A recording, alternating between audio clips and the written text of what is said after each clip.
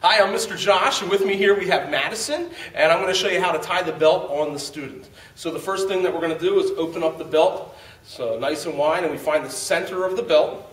And the middle of that belt is going to go on the student's body in the front, and it'll wrap around in the back and back out to the front.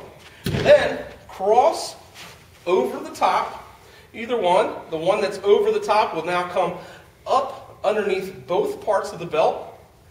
Pull it up, snug it up a little bit, and the one on top again will cross over, and the one on the bottom will come down through the middle, and it will pull nice and tight.